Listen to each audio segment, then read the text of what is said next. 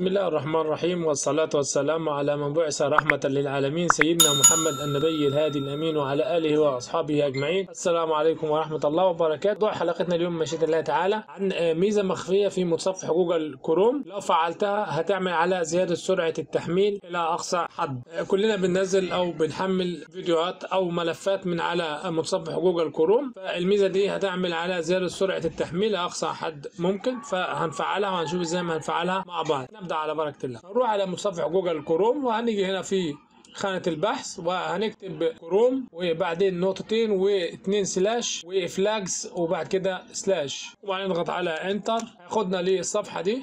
هنيجي في أيقونة البحث هنا وهنكتب parallel downloading هتظهر معانا الميزة هي زي ما حضراتكم شايفين. parallel downloading التنزيل المتوازي.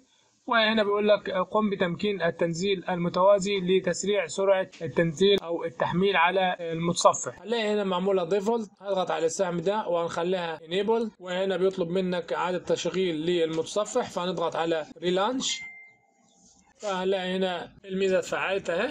كده هتفرق معاك سرعة التحميل. لو أنت بتنزل أي ملف سواء حجمه كبير أو حجمه صغير هينزل معاك بسرعة. كده نكون وصلنا لنهاية حلقة اليوم. والسلام عليكم ورحمة الله وبركاته.